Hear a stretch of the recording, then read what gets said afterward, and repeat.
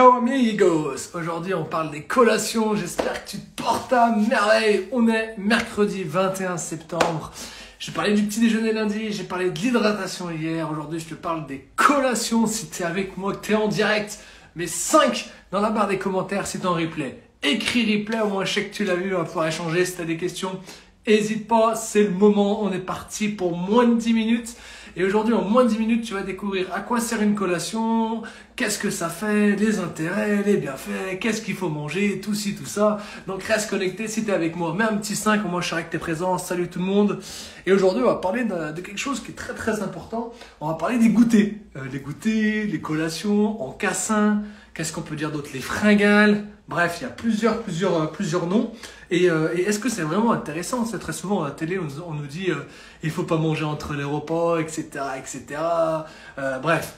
Mais réellement, à quoi ça sert des collations? Est-ce qu'il faut prendre des goûters? Est-ce que c'est bien? Comment composer un goûter correct? On va voir tout ça aujourd'hui. Si t'es pas encore abonné, abonne-toi à mon compte, like, commente, partage autour de toi. N'hésite pas à identifier des potes, à commenter ce réel. Si t'es avec moi, si t'es chaud, n'hésite pas à me dire dans les commentaires que t'es chaud, que t'es présent, à poser quelques petites questions. Si t'es en replay, pose tes questions et je pourrai répondre. Et puis si tu veux un plan clair pour venir tracer les abdos, pour venir te remettre en forme, soit sur 10, 21, 30 ou 90 jours, le lien est dans ma bio. Tu checks sur le premier lien, tu réponds au quiz et tu auras de mes nouvelles. Alors, Plein de couvertures, comment on fait pour les invités Super Lulu Eh bien écoute, je ferai un live sur les, euh, sur les courbatures. Alors euh, hier, euh, pardon, lundi c'est un live sur le petit déjeuner. Mardi on a fait un live sur l'hydratation. Aujourd'hui on met un live sur les collations. Demain on fera un live sur les plans repas, comment équilibrer ses repas. La fin de semaine je serai pas présent. Donc les amis, je serai présent qu'en story, il faut regarder les stories. Et lundi prochain si tu veux on fait les couvertures. Les courbatures, pardon, pas les couvertures. Bon, j'espère que vous allez bien. franchement, je suis hyper enthousiaste de mon côté. J'aime bien vous partager ces petits lives en moins de 10 minutes et vous apporter plein de valeur. Donc, let's go, je vais démarrer les collations. Alors, tout d'abord, que, que ce soit un encassin, que ce soit, euh, que ce soit euh, une collection, que ce soit un goûter, que ce soit... Euh, bref, c'est toujours, toujours la même chose. ce qu'il faut savoir, c'est que ça va être hyper utile. Très souvent, à la télé, on dit faut pas manger entre les repas. Oui, il faut pas manger entre les repas, il faut pas grignoter tout n'importe quoi, est d'accord. Par contre, avoir une collation qui va être diététique, un encas qui va être sain, va être hyper intéressant pour ton corps. Pour deux choses. La première chose, c'est pour apporter des protéines, des fibres, des glucides, donc pour nourrir ton muscle, nourrir ta masse musculaire, nourrir ton corps. Et la deuxième chose, c'est très très simple, c'est-à-dire que le fait de prendre une collation, un goûter, ça partage entre deux repas, ça t'évite qu'au repas qui suit, tu te jettes sur la nourriture. Donc c'est vraiment les deux bénéfiques d'un encas et d'un goûter. Maintenant, comment ça se passe sur une journée? Tu as un petit déjeuner qui va être complet équilibré, tu sais comment faire un petit déj, tu as vu ma vidéo sur le petit déjeuner, tu l'as pas encore vu, tu vas la voir et tu sais comment faire un petit déj équilibré. OK? Pour faire un repas de midi, un repas de soir équilibré, on en parle demain. Maintenant, on va parler des collations. Les collations sont utiles parce que ton corps, a besoin de manger toutes les 3-4 heures. Donc, on part sur un petit déjeuner vers 7 heures du matin, on a un repas de midi qui vient midi, il y a un temps de 5 heures entre les deux. Yes, tu peux mettre une collation dans la matinée, 10h, 10h30. Ça, les collations sont primordiales et pour deux choses, et tu verras qu'à deux endroits de notre vie, on prend des goûters et des collations. À l'école primaire, crèche et à la maison de retraite. Je suis sérieux hein, quand je dis ça, c'est vraiment vrai. Hein. C'est-à-dire que quand tu vas à l'école primaire, quand tu vas à la crèche, tu as des goûters, le matin et le soir. Quand tu es bébé, tu as des biberons très régulièrement, tu manges très souvent. Quand tu es en maison de retraite, tu as des goûters obligatoires parce qu'il faut apporter des doses de protéines l'après-midi, le matin. Et quand tu es dans une vie adulte active, de 20 à 80 ans, tu prends plus de goûter. Mais tu te permets de grignoter devant la télé le soir, ou tu te permets d'ajouter des chocolats à droite à gauche. Ça, c'est dommage. Donc, pour avoir des collations complètes et équilibrées, il faut avoir un apport toutes les 3 heures. Tu as un apport en fibres, en protéines, en glucides à respecter sur ton calorie, sur ton total de calories journalier. Donc, les petites collations vont être hyper utiles pour apporter un peu plus de calories, peu importe, soit sur la part de poids, sur la prise de masse, ça va t'apporter des calories, des bonnes calories bien entendu, mais c'est aussi t'apporter des protéines, c'est aussi t'apporter des fibres, et donc tout ce que tu as besoin. En moyenne, un corps humain, un homme aura besoin de 35 à 40 grammes de fibres, une femme entre 25 et 30 grammes de fibres journaliers, et donc l'intérêt d'avoir ces petites collations, ça permet d'apporter des fibres en plus. Deuxième chose, deuxième tips, les apports en protéines. Les protéines, ton corps, il assimile que 40 grammes de protéines toutes les 3 heures. donc du coup, bah, le fait d'avoir un petit déjeuner qui est un peu protéiné, d'avoir des collations protéinées, et eh ben, tu peux avoir 5-6 repas dans la journée. Quand je dis 5-6 repas, c'est-à-dire un petit déj, plus de repas équilibrés, plus de collations, ça fait 5 repas. Je peux même ajouter une collation nocturne. Et avec ces 6 repas, tu auras assez de protéines pour faire une masse musculaire, pour construire du muscle. Mais quand on est sur la perte de poids, faut pas sauter ces collations, faut pas sauter ces repas. Je reparlerai demain pour les repas, mais les collations vont être primordiales. Comme je te l'ai dit, moi, être primordial dans un sens 1 où tu auras un apport en protéines, plus tu auras un apport en protéines, plus ça va contrôler ta masse musculaire. Plus ta masse musculaire, ton usine à brûler des calories, va pouvoir brûler des calories avec un petit peu d'activité physique, automatiquement, avec la balance des apports et des dépenses en calories, tu vas perdre du poids et ce sera bénéfique pour toi. Aïe, je me suis fait mal au niveau du pied. Pas de souci. et, la deuxième chose, c'est que, euh, donc ça c'est par rapport à la perte de poids. Et c'est sur la prise de masse, le fait de faire des petits apports, des petites collations toutes les journées, bah, si tu as 20 grammes de protéines le matin, d'accord 25 grammes, ça je l'ai dit dans la dernière vidéo le matin, as pareil 30 grammes, 30-40 grammes à midi, pareil 30-40 grammes le soir, des petites collations de 20 grammes euh, d'apport en protéines 2-3 fois par jour, c'est intéressant pour ta prise de masse.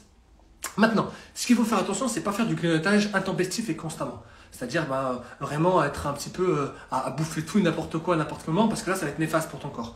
Donc la collation, elle doit être toutes les 3-4 heures. Une journée type, et je vais la répéter. Tu te lèves le matin, 6h, 6h30, petit déjeuner à 7h, collation à 10h, 10h30. Je vais juste après, reste vraiment jusqu'au bout de la vidéo. Si t'as pas encore mis des likes, n'hésite pas à balancer des likes, des commentaires, ça donne de la force. Moi je suis tout seul dans ma pièce, dans le bureau pour travailler, donc euh, balance un peu de force et je te donne de la valeur, hein, c'est gratuit les amis.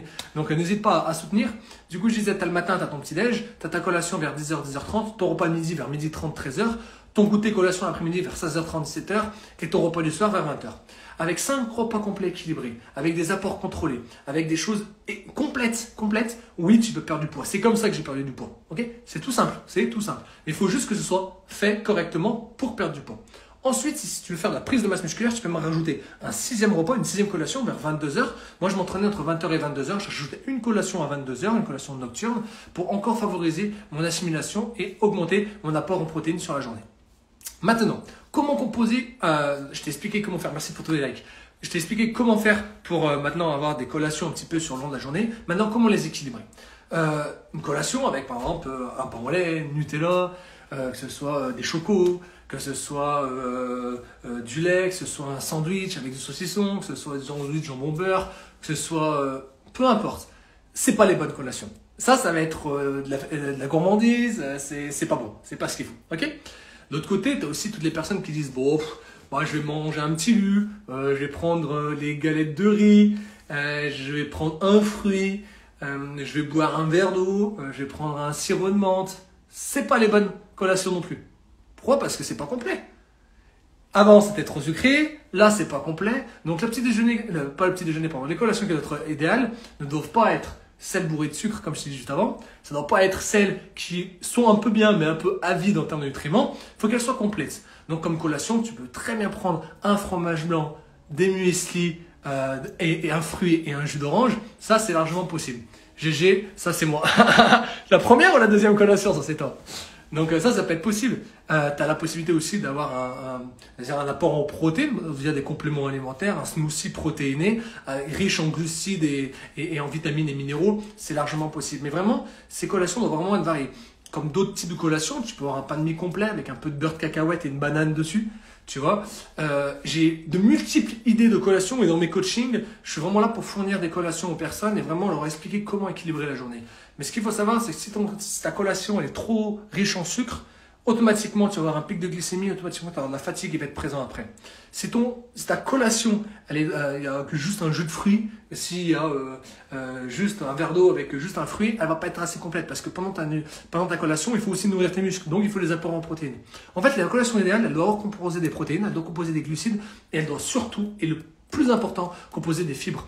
Les fibres, je les ai parlé pour le petit déjeuner, j'en reparlerai encore demain. C'est quelque chose qui est très négligé, mais les fibres, ça permet une seule chose. Bah, ça permet deux choses. Un, ça va réguler ta satiété. Deux, ça permet de transmettre tous les nutriments dans ton corps. Et trois, favoriser ta digestion. Si tu n'as pas d'apport en fibres, ta masse musculaire, elle sera pétée. Ta prise de masse, elle sera pas réussie. Et ta perte de poids, elle sera plus difficile. ok? Et les apports en fibres, ils sont très simples. Ils sont présents dans les fruits les légumes, cuits ou crus. Il y a beaucoup de fibres, par exemple, dans une pomme, mais moins qu'il y a 30 ans en arrière. Euh, d'accord? Tous les nutriments, ils perdent de leur valeur avec tout ce qu'on entend aux alentours. Donc, c'est important aussi de compléter son apport en fibres pour favoriser tout ça. Parenthèse fermée. Du coup, je disais, on a une journée complète. Je t'ai parlé du petit déjeuner lundi, va revoir la vidéo sur le petit déjeuner. Je t'ai parlé de l'hydratation hier, va revoir la vidéo sur l'hydratation. Aujourd'hui, je t'ai parlé des collations. Demain, je te parlerai des repas complets équilibrés. Et en fin de semaine, tu sauras comment bien t'alimenter et comment améliorer ton hygiène de vie et ton plan alimentaire. Bon, un petit coucou à tout le monde. Si vous avez des questions, n'hésitez pas. Je vais prendre deux trois questions. J'ai terminé tout ce que je voulais dire sur, euh, sur les collations, mais il faut les équilibrer au mieux. Bien sûr, tu peux te faire plaisir. Bien sûr, il peut y avoir le gâteau de mamie dimanche après-midi. Bien sûr, tu peux manger ta charlotte aux fraises. Bien sûr, tu peux te faire un brownie fait maison. Euh, il y a plusieurs possibilités. Bien sûr que tu peux te faire péter le bide et prendre euh, des fois un pain chocolat avec un coca au goûter. Mais bien sûr que tu peux. Ça sert à rien de faire tes régimes, ça marchera pas. Mais par contre, si tu veux avoir un plan clair, complet et qui marche, viens m'envoyer un message. Je t'expliquerai comment en 10, 21, 30, 90 jours, je peux t'aider à perdre du poids, prendre la masse ou avoir un regain d'énergie. Mais la collation, elle est primordiale. Et la dernière chose que je vais dire sur la, sur la collation, en attendant de vous poser un peu les questions, c'est si tu prends pas de collation, imaginons tu manges à midi, tu travailles toute l'après-midi quand on a parce que je sais que t'es un bosseur, toi qui me regardes. Et le soir, tu bosses à 20h, mais qu'est-ce que tu vas avoir envie le soir? Mais tu vas taper en toute la nourriture qui bouge. Donc non, le petit déjeuner doit être complet dès le matin, j'en ai parlé lundi. L'hydratation doit être complète sur toute la journée et optimisée à 2 litres d'eau par jour minimum. Regarde la vidéo si tu l'as pas encore vue. Et les collations, elles sont primordiales. Ça t'évitera de stocker la graisse, ça permettra de réguler ton énergie sur la journée, ça permettra de faciliter ton absorption de la protéine et ça permettra de moins sauter sur le repas qui suit. Et si tu veux démarrer mon challenge, ça se passe en lien en bio, c'est très simple, tu cliques sur le premier lien en bio, tu remplis le quiz et en moins de 30 minutes, tu vas pouvoir découvrir avec un plan simple comment je peux t'aider sur 10, 21, 30 ou 90 jours pour te remettre en forme. J'ai perdu 12 kilos, j'ai repris 4 kilos de masse musculaire et c'est comme ça avec un plan simple qu'on peut perdre du poids, qu'on peut se remettre en forme ou qu'on peut prendre de la masse musculaire. Place aux questions les amis. Deux minutes de questions, après c'est terminé et on sera sur un nouveau live qui sera demain entre 18 et 19h et on parlera des repas. Arthur, imaginons on a du sport, après faut la prendre la collation combien de temps avant un effort physique? Si c'est avant un effort physique, 2 heures. Arthur, si c'est après un effort physique, maximum dans les 30 minutes après l'effort physique.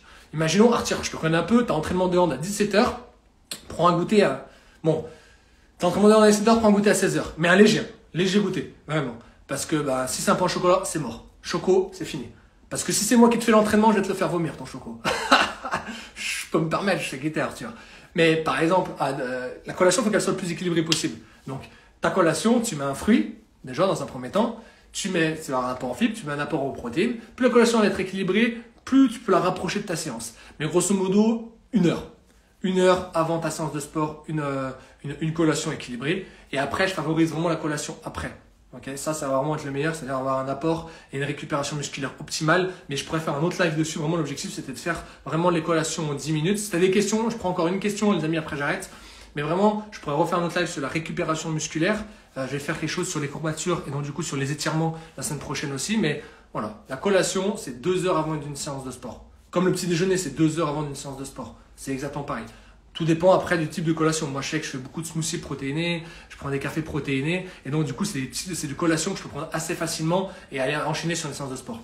Combien de grammes de protéines est conseillé pour une collation? C'est une très très bonne question. Tout va dépendre de ton objectif. Est-ce que c'est un objectif de perte de poids, un objectif de prise de masse, mon cher Myron? Je sais que toi, tu es un sacré monstre, le nombre de, kilos, la quinzaine de kilos de masse musculaire que tu pris. Mais euh, c'est très simple, es sur une prise de masse, tu peux faire péter les, tu peux faire péter les protéines si tu veux. Non, l'assimilation des protéines, c'est 40 grammes toutes les 3 heures. Plus de 40 grammes de protéines toutes les 3 heures, ça va s'assimiler en masse graisseuse, ça s'assimile en graisse en fait. Donc euh, c'est pas du tout intéressant de prendre plus de 40 grammes de protéines toutes les 3 heures. Par contre, une collation protéinée, 10, 12, 15 grammes de protéines, 200, 300 calories, là on est bien. On peut avoir des chips protéinés, on peut avoir des graines de soja protéinées, on peut se faire un smoothie, on peut se faire un bowl cake, on peut se faire des gaufres, on peut se faire un brownie, peu importe. Tu peux très bien faire un peu de muesli. Tu peux prendre un Ipro, par exemple. On a parlé des Ipro hier sur, euh, par rapport à l'hydratation. En collation, tu peux prendre un petit yaourt Ipro avec une banane à côté, avec un petit peu de muesli. Mais encore une fois, tout dépend de tes, apports, tout dépend de tes objectifs. Tu es sur une perte de poids, on va essayer de limiter euh, sur une perte de poids des grosses collations. On va partir sur des collations beaucoup plus simples. Vraiment, vraiment beaucoup plus simple. Si tu es sur une prise de masse, yes, tu te fais une, bah, tartine avec euh, un pain complet, beurre de cacahuètes, banane sur le dessus, let's go. Un gros shaker avec euh, un apport en protéines, en glucides et en fibres, let's go. Mais tout va dépendre de tes objectifs. Si tu as des objectifs vraiment précis, tu cliques sur le lien dans ma bio, tu remplis le quiz, tu auras un challenge sur 10, 21, 30 ou 90 jours avec moi et tu pourras avoir les résultats. J'ai perdu 12 kilos, j'ai repris 4 kilos de masse musculaire, c'est juste incroyable, donc je peux t'aider. J'espère que tu kiffé les collations. Like, comment, partage. Franchement, mon ami, si tu as kiffé, c'est vraiment le moment où il faut donner de la force. On se retrouve demain en fin de, soirée, fin d'après-midi. Ça va dépendre. J'ai une sortie course à faire aussi. Donc, euh, reste connecté. Et demain, on parlera des repas. Comment équilibrer ce repas? Comment faire un repas complet équilibré? Comment arrêter de suivre tous ces régimes qui marchent pas Et enfin, manger et se satisfaire et sans se frustrer? Ça, c'est le programme de demain. Lundi, on a parlé du petit-déj. Mardi, on a parlé d'hydratation. Aujourd'hui, on a parlé des collations. La fin de semaine, c'est les stories qu'il faut que tu checkes parce que je vais changer de pays. Ça va être incroyable. Et lundi prochain, je note tout de suite, Lulu, on va parler des courbatures et de la récupération musculaire. Tchuss les amis, passez une agréable soirée. J'ai kiffé faire encore ce live. N'hésitez pas si vous avez des questions en privé, venez me parler. Si vous avez d'autres idées de live, j'en ferai avec plaisir. Et si tu as envie de venir au live avec moi la prochaine fois, tu m'envoies un message. Et qui sait, tu auras peut-être l'honneur d'être dans les Feed by Seb live. À très vite. Ciao, ciao